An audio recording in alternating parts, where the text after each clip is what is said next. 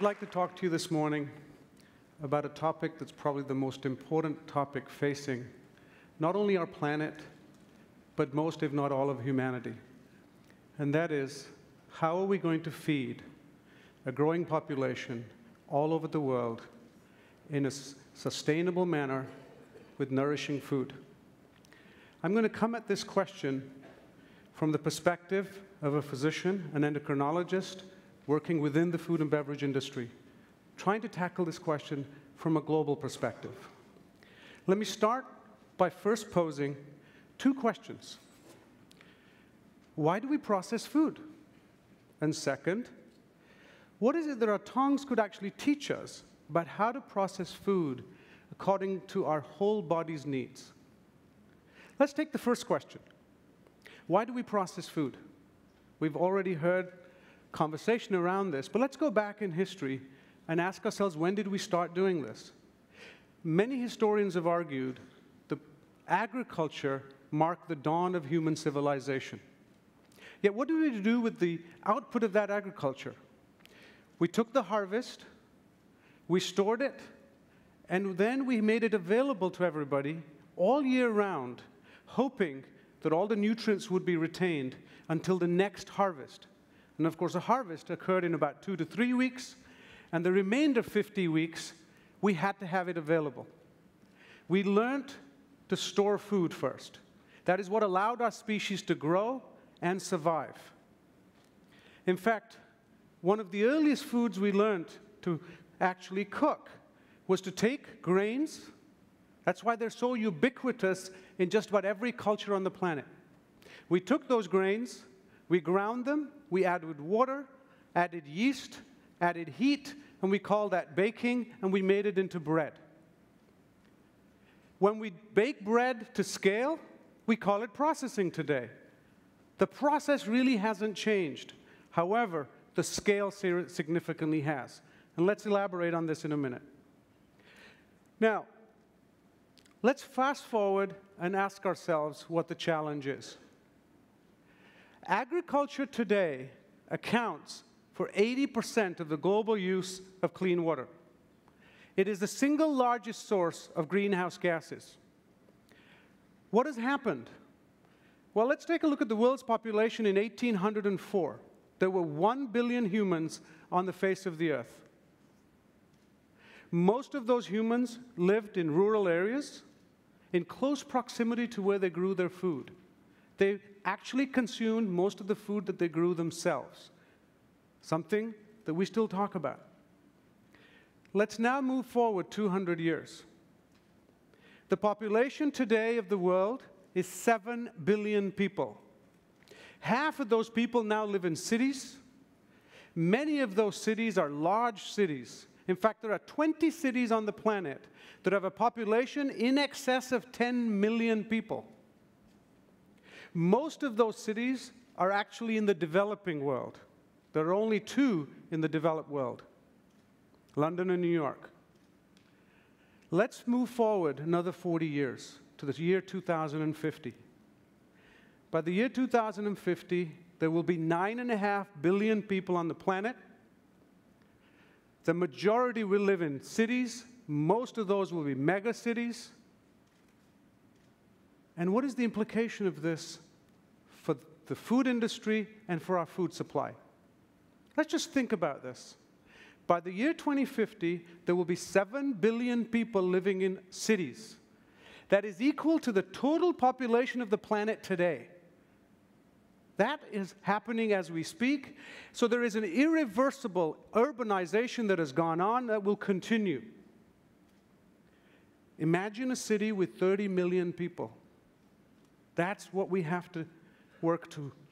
Now, what is the implication? Well, very simply, think about this problem.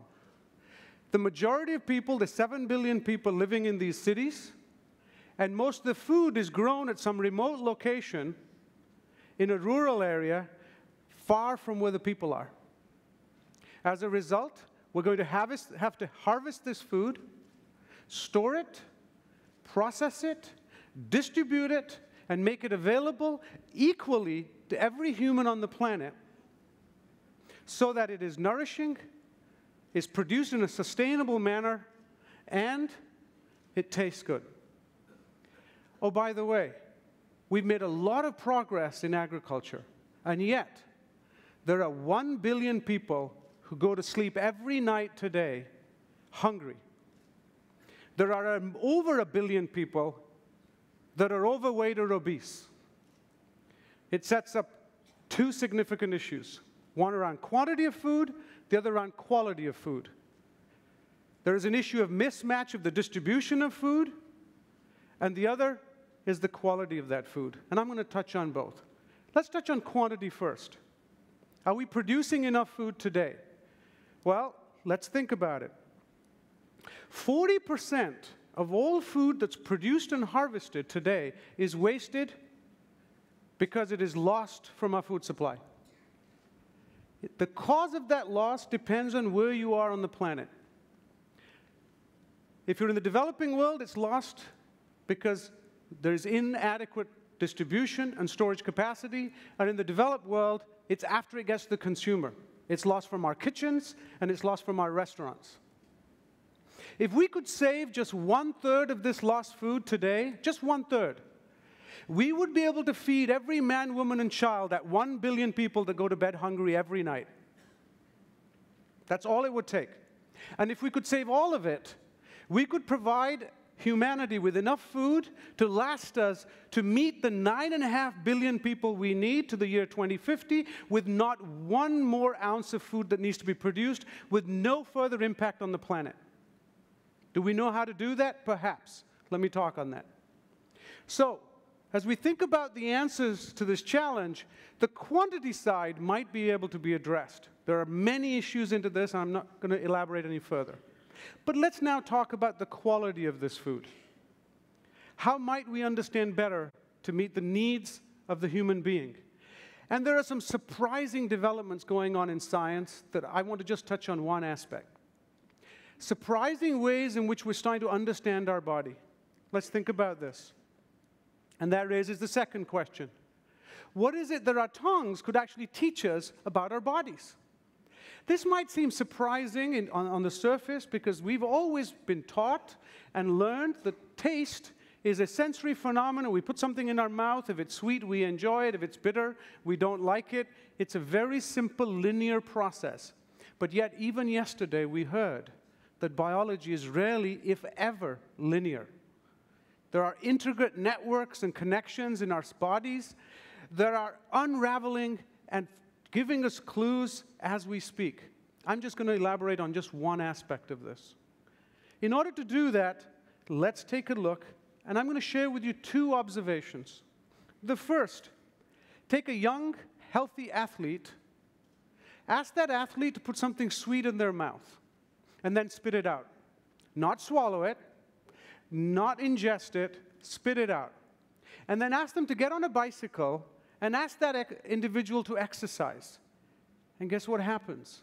What we'll observe is that athlete can exercise longer and with greater intensity just by the mere fact that they put something sweet in their mouth. They didn't swallow it, didn't get into their body, didn't provide them with more calories. What is the implication of this? It suggests that the activation of taste in your mouth somehow signaled the muscles to change the way in which they perform. Well, what is the signal? How is the tongue communicating with the muscle? What is the message? How is the cell in the muscle changing its metabolism? It suggests there's a connection. Let me share the second observation that adds further light onto this. We sense taste through taste buds. The molecules within our taste buds that experience and sense this taste have now been identified not only in our mouths, but recently in our guts, and even more recently in the endocrine cells within our pancreas. Let me remind everybody the pancreatic endocrine cells are those cells that release insulin, the most powerful and critical hormone necessary for energy balance and metabolism. What is the implication of this? It suggests that, in fact, our taste system is not just a sensory system, but it's critical to regulation and metabolism. It doesn't just exist there for our brains to enjoy, but for our bodies to regulate. So, what does that mean from a food point of view and availability of the types of foods? Well, it suggests, because since it starts in the mouth, there must be something in our food that's activating these cells and these sensing molecules, not only in terms of taste, but it comes with the food. Very simply stated, nature has put into our food supply not only the nutrients and nourishment that we need to sustain our bodies, but likely has put into it the instructions with which we understand how to metabolize that food. The whole food. Come together, we have nutrients and instructions that we co ingest. Ah, what does that mean? It means that this system that is around sensing also is around interacting with our regulation. And in fact, our food and our bodies interact in far more profound ways than just providing us nourishment, but actually in a sensing, signaling, regulatory mechanism. Our food gives us instructions.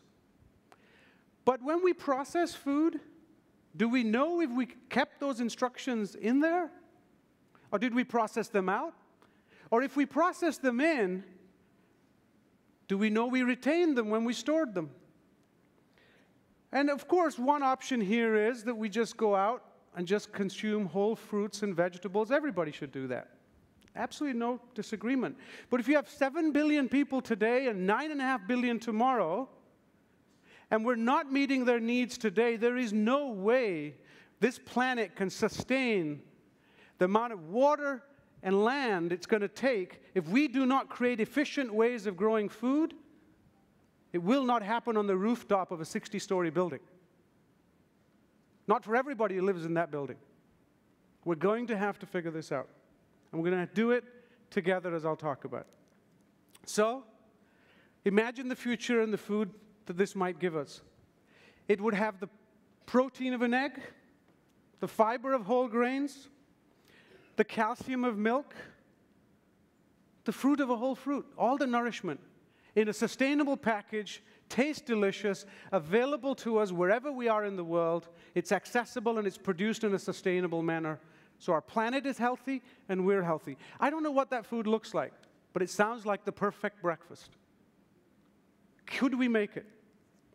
Well, let me throw out a challenge.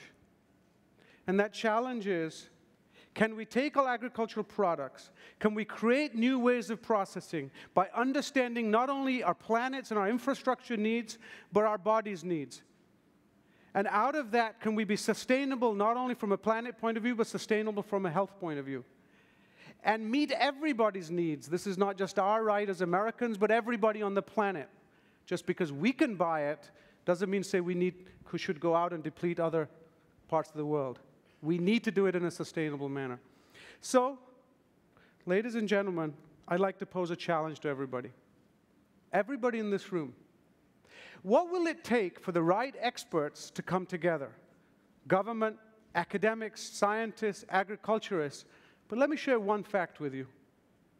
98% of the world's food today is either completely or partly bought by every human being on the planet 98% of all humans buy it from the private sector. No governments make food. No academics make food.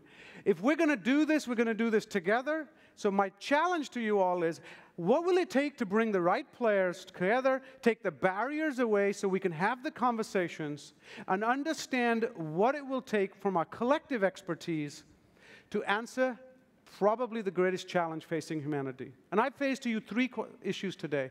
One, processing has been with us ever since we've been civilized. However, it has been critical to our survival and will be even more critical to sustain 9.5 billion people on the planet or the 7 billion today. Second, if we're going to learn to process food even better, we're going to have to learn new methodologies, new techniques, new science. And in order to do this, we're going to have to have conversations between areas of expertise that have traditionally never talked to each other, whether it's molecular biologists and taste and science, agriculture, government, regulation, and ultimately process engineering. And of course, it can be done. Failure is not an option. The third I suggested to you were examples between the relationship between our body and taste. And of course, Einstein knew this 50 years ago when he posed for this. Thank you very much.